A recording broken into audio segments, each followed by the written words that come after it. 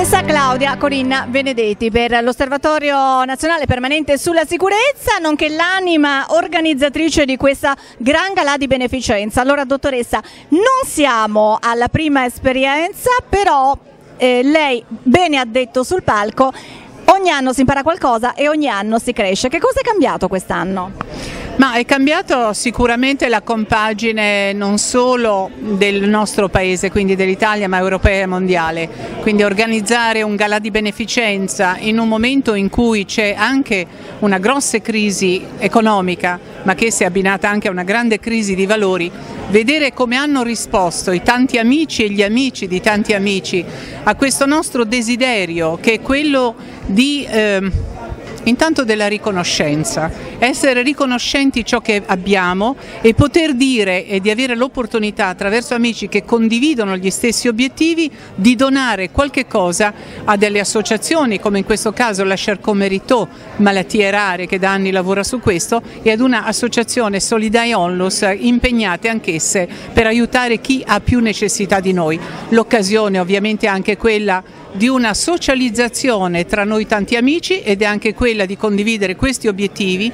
questi valori e di scambiarci anche gli auguri affinché l'anno prossimo sia certamente un anno, ehm, come posso dire, anche più umano, anche più vero, anche più forte, dove i nostri eh, valori siano consolidati e soprattutto le grandi eccellenze italiane, quindi parlo del Made in Italy. E qui stasera abbiamo una rappresentanza non indifferente di società eh, che poi hanno rilasciato anch'esse la loro intervista, parlo della CSP che è una società che eh, lavora nel campo della information technology ed è un'eccellenza italiana, parlo di anche piccole società eh, come la, la, Altec, parlo di eh, ehm, chef che con la loro fantasia, con la loro creatività, ma soprattutto l'amore della buona cucina, del Made in Italy e della cucina mediterranea, questa sera ci hanno fatto fare degli assaggi assaporando i sapori veramente quelli veri della cultura italiana, poi le artiste, la creatività delle nostre artiste italiane anch'esse,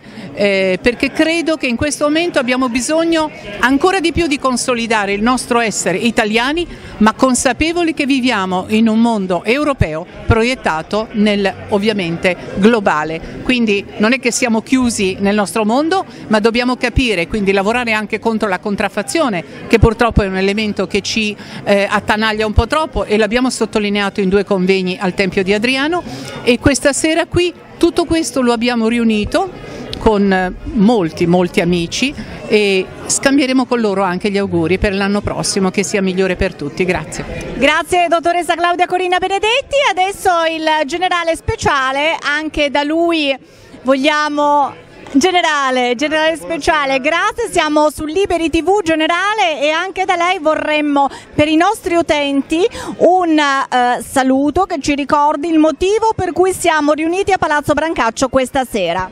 Buonasera a tutti.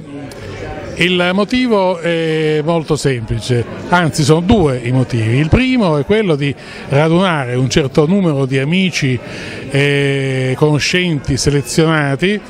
per eh, eh, fare in modo che tra essi nascano delle relazioni sociali e eh, amichevoli e il secondo è quello di ehm, cercare di eh, donare a persone più eh, sfortunate di noi un piccolo contributo di carattere economico. L'ONPS non è solito organizzare eventi di questo genere, ma